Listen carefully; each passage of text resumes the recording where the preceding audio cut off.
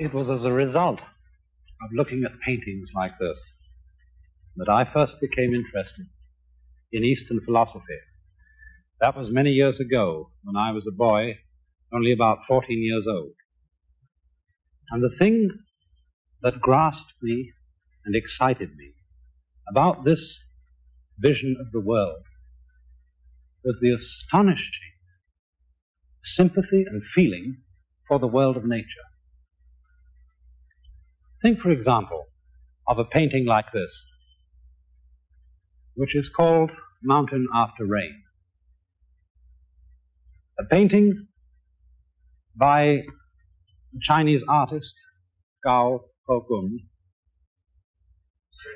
showing the mist and clouds drifting away after a wet night pouring rain.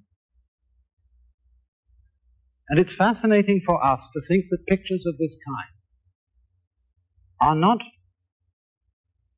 what we would call just landscape paintings. They are also icons.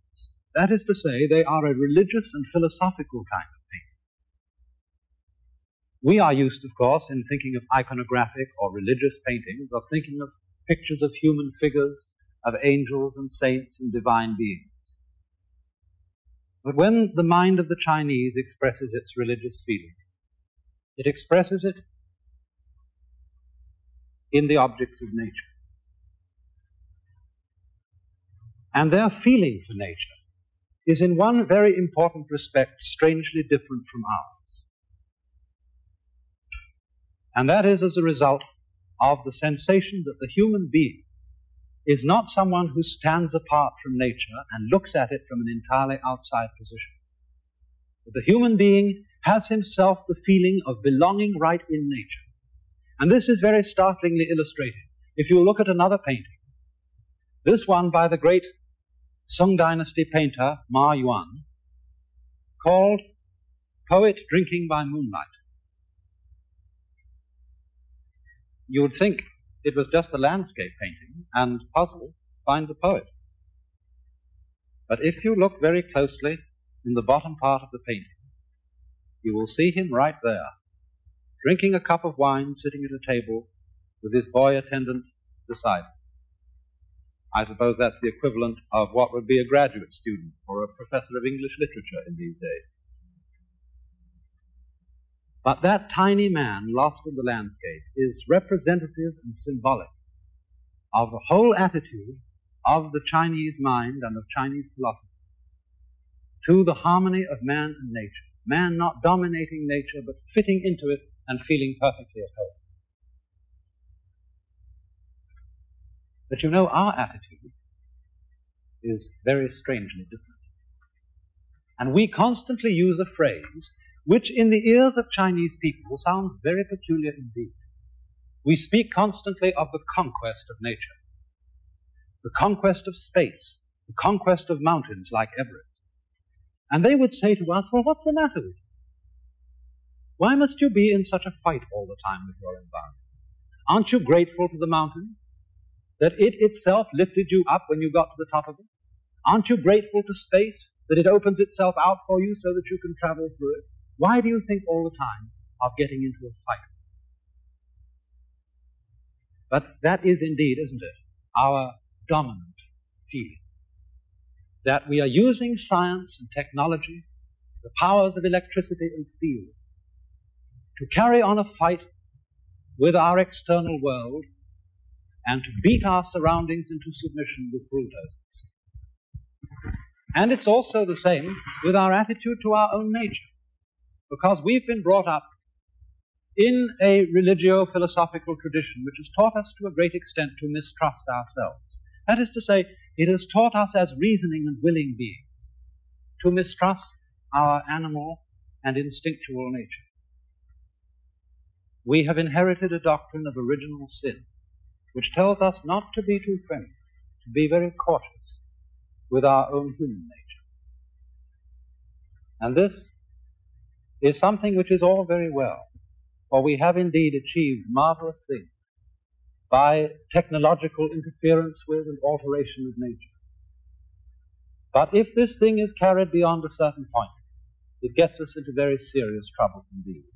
As a result of what I would call the law of diminishing returns. Now, it's something like this to illustrate it in a very simple way. Supposing you start mistrusting your own senses. Supposing you're the sort of person who, when you go out for a walk in the morning, you're going down to the market, and you wonder, did I turn off the gas stove? And you've only gone a few paces from your house, and you think you must go back and take a look in the kitchen and see if you really did turn it off. So back you go, and you open the back door and look in the kitchen. Yes, you did turn it off.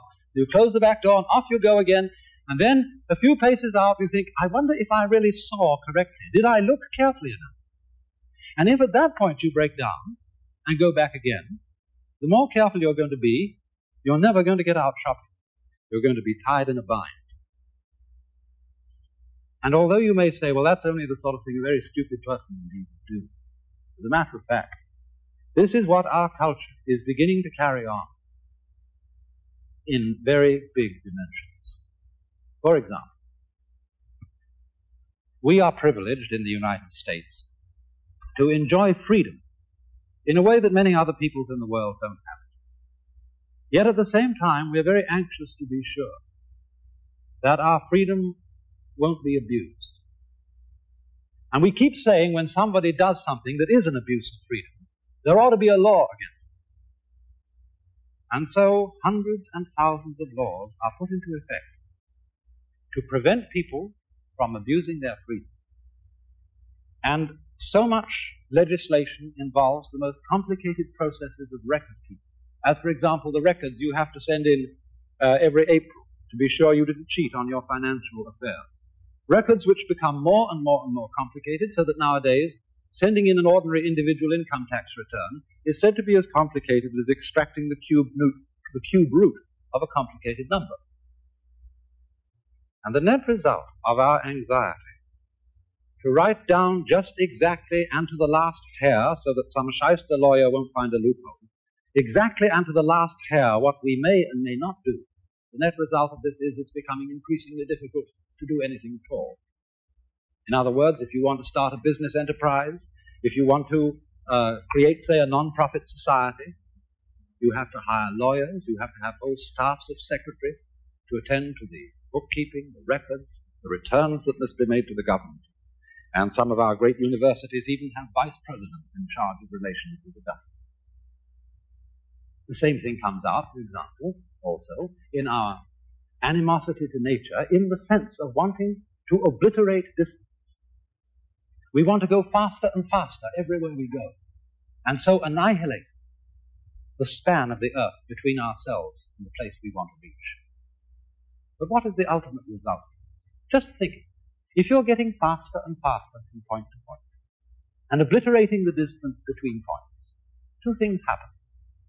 In the first place, all points that are set next to each other by, say, jet propulsion tend to become the same point. In other words, the faster you can get from Los Angeles to Hawaii, the more Hawaii becomes exactly like Los Angeles. And therefore, tourists keep asking, well, has it been spoiled yet? And by that they mean, is it just exactly like home? And furthermore, if we begin to think about our goals in life as destinations, as points to which we must get, it begins to cut out all that makes the point worth having. It's like saying, well, instead of giving you a full banana to eat, I will give you the two precise ends of the banana. And that would not be in any sense a satisfactory meal. But that is what happens as we tend to fight our environment and to want to get rid of the wonderful limitation of space and distance. And you know, if we carry this kind of thing to its ultimate extreme, we get into a most extraordinary tangle, which I think I could very well illustrate in this way. Let's go and have a look over here at a sentence which has been written on the board. That is a sentence which is behaving like we are behaving in our mistrust of nature. That is a sentence which fundamentally does not trust itself. And it says of itself, this statement is false. Now, what do you see funny about that? This sentence behaves in an extremely peculiar way. Because if it is true, then it is not true. And if it's not true, then that's what it says. That it isn't true, so it's true. So that if this statement is true, it is false. And if it is false, it is true. And so on and so on. In other words, the meaning of the sentence is oscillating. It's shaking from true to false, true to false, like an electric bell vibrating. And in other words, you might say that this particular sentence is suffering from anxiety. For anxiety is the condition that comes upon us when we fundamentally mistrust ourselves, when we mistrust our own nature, and are trying to keep such a tight grip on it that we start to tremble, as one's hand starts to tremble if you become extremely anxious to hold it still. Now, Chinese thinking, of which there are really two main currents the Taoist current and the Confucian.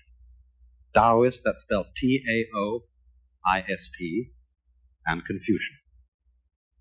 And both of these main currents of Chinese thought agree on one fundamental principle, and that is that the natural world in which we live and human nature itself must basically be trusted.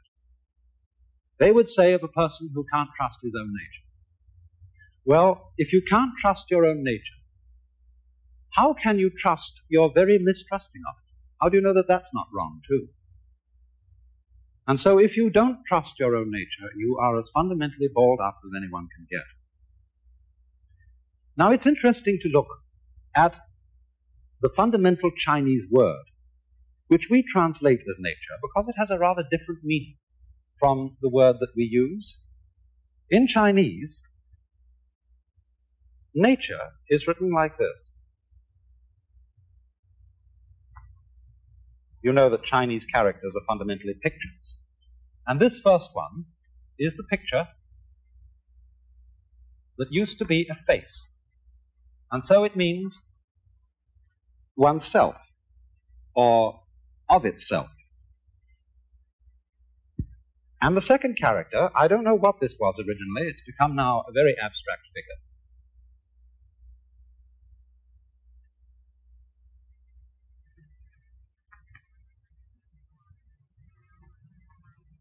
That means so. And so the whole figure means of itself so. And we should give the rough English equivalent of that as spontaneity. That which happens of itself, just in the same way, for example, that your hair is growing by itself, your heart is beating by itself, so that if you feel your pulse, you get this funny sensation of movement going on inside your body, and you think, ah, I'm not doing that. That's something queer going on inside me over which I have no control. But when you come to think of it, what is more fundamental? What is more central to you? What is more the very middle of yourself than your own heart? And so, this idea of nature, that which happens of itself so, is a process which is fundamentally not under our control, which is happening all on its own, just as our breathing is happening all on its own, just as our heart beating is happening all on its own. And the fundamental thought of Taoist philosophy is that this self-so process has to be trusted. If you turn now to Confucian ideas, we will find another word that represents the basis of human nature. This word written like this,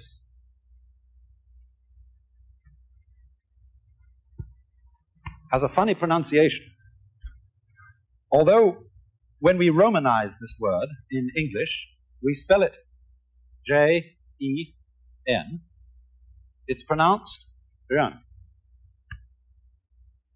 Sort of like rolling an R, or rather saying R but not rolling it. And this word is the cardinal virtue in the whole system of Confucian morality. It's usually translated human heartedness or humanness. But when Confucius was asked to give a precise definition of it, he refused. He said, You have to feel the meaning of this virtue. You must never put it into words. And the wisdom of his attitude about not defining yearning is simply this that a human being is always greater than anything he can say about himself and anything he can think about himself. If we formulate ideas about our own nature, about how our own minds and emotions work, those ideas are always going to be qualitatively inferior. That is to say, far less complicated, far less alive than the actual author of the ideas themselves, and that is us. So there's something about ourselves which we can never get at, which we can never define, in just the same way that you can't bite your own teeth, you can't, without the aid of a mirror, look into your own eyes, you can't hear your own ears, and you can't make your own hand catch hold of it. So that you must basically trust this. Confucius would say he would rather trust human passions and instincts than he would sometimes trust human ideas about what is right. For example, when people go to war, they very often go to war about who has the right ideology, who has the right of this particular dispute, and who has the wrong of it. And because there can be no agreement, no compromise between principles of right and wrong, ideological wars generally tend to be vastly destructive. On the other hand, when we go to war for simple, ordinary greed, because I am greedy of another people, of another nation, I want to carry off their uh, goods, I want to carry off their women, I will at least be sure in going to war with them that I don't destroy the thing I want to possess. And so, if we are then bound to trust our own nature. This attitude of hands off, of not interfering with oneself beyond a certain point, is called, again in Lao Tzu's Taoist philosophy, this. Wu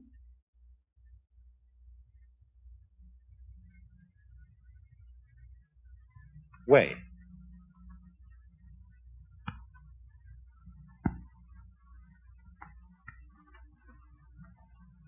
This character means no, not, or don't. And it's said to have been originally based on a picture of bunches of grass tied together like this, indicating that a certain area is taboo. You mustn't step on this area. The ground is sacred. So don't, keep off, is its meaning. And it's possible that this was originally a drawing of a hand over a bird.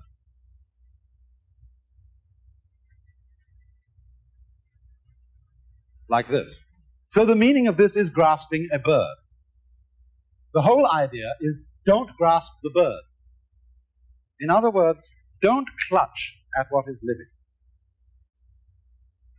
If, for instance, you, like sometimes little children, pick up a kitten they're so eager to hold the kitten, they squeeze it tightly, and the kitty says, yeah, yeah, and scratches the child all over the place. It's because he is loving it, he is grasping it too tightly.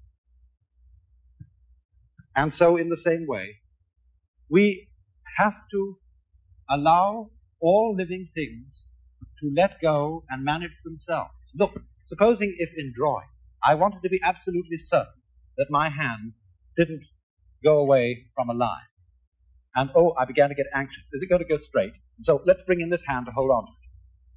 Oh, let's send this one straight. But now how can I be sure my left hand's going to stay still? Maybe the right one will have to catch hold of it. Oh, and then we're in a total mess.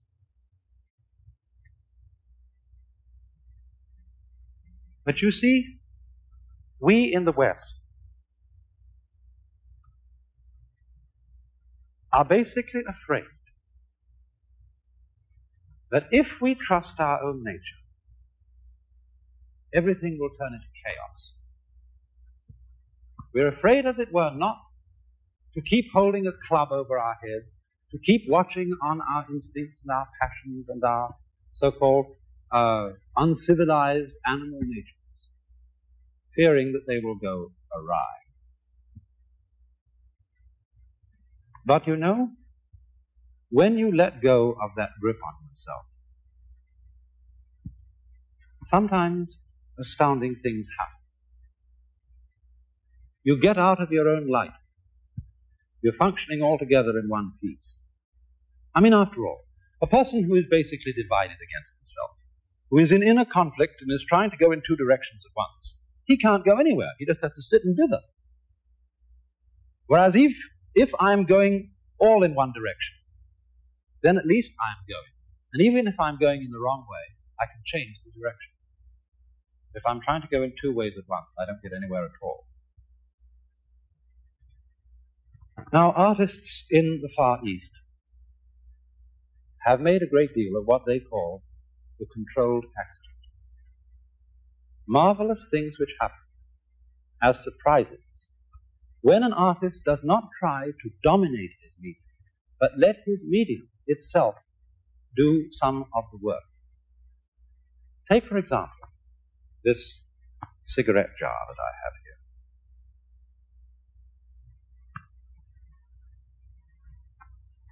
here. You see the glaze has just been slopped on it with a swift motion of the wrist.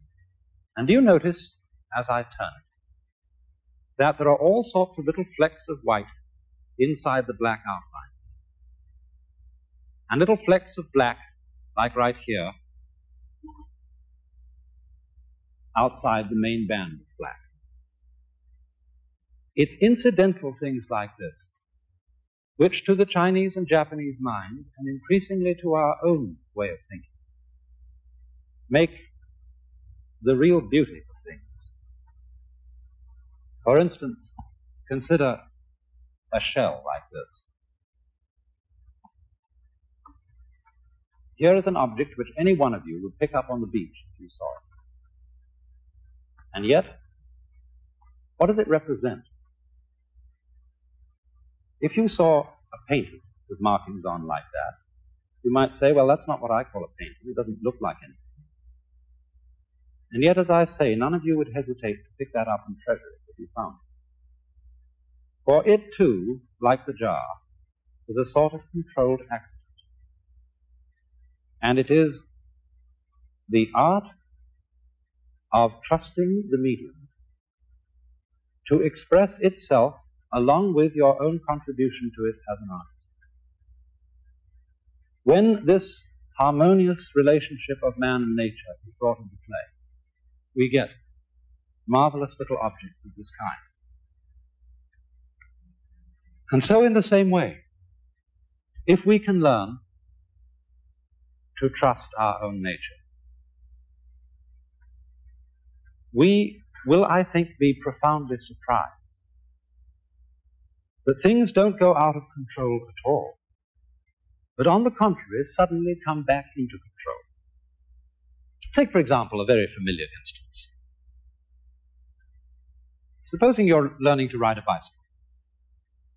Some of you will have known that when you started out this rather difficult art, you found yourself immediately falling over, and your first instinct was to turn the, the wheel right opposite the direction in which you were falling and in this way you collapsed totally on the ground. It seemed to be common sense to turn away from the direction in which you were falling, and yet the thing you have to learn to do is to turn the wheel in the direction in which you are falling. And in this way, you zoop, suddenly come up straight again, and you're in control. You expected to fall. You went with the fall, and you came to yourself again. In precisely the same way when we go with our own nature, our own inner feelings, we come into control of them. We don't lose control. If we fight them, we get in that state of balled upness, of anxiety, of dither, which makes us incapable of doing anything at all. An anxiety and a dither which is comparable to the whole problem of maintaining freedom in a world like ours. Problem that we are in danger of losing our freedom through being over anxious to preserve it. Oh, Or think of another illustration. Those of you who live in uh, the East and the Middle West are familiar every winter with the problems of icy roads. But any good driver knows that when you skid on an icy road, you have to turn in the direction of your skid and not against your skid. That again brings you into control. To fight the trend of things, to fight what the Chinese call the Tao, the T-A-O, the way of nature, is to come into conflict with nature so that you can't do anything at all. Or another common example. Everybody who ever used a sailing boat knows that if you are going to move, you've got to keep the wind in your sails. Even if you want to go against the wind, you would never dream of turning the boat directly into the path of the wind. So you always have in some way to keep the wind behind you. But when you want to go against the wind, you don't fight the wind, you use the wind. You, in other words, tack against it at an angle so that it blows you into itself. And this is the fundamental principle of Chinese philosophy, which underlies that startling manifestation of it in Japanese wrestling called judo, where you overcome the enemy not by opposing, by using his own strength to bring about his downfall. For this is the philosophy of bend and survive, of the strength of weakness, as the willow trees under snow go supple and drop the snow. The pine with its tough branch piles up the snow and cracks. And you say, who's in charge around here? Well, nobody's in charge. There never was anybody in charge.